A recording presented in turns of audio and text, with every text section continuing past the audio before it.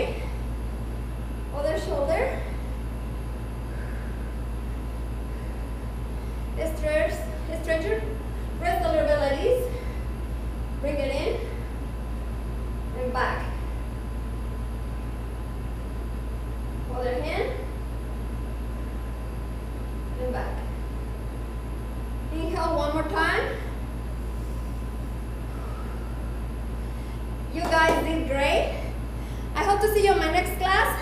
And if you want to advance this class, repeat it three times. Drink a lot of water and have a nice summer.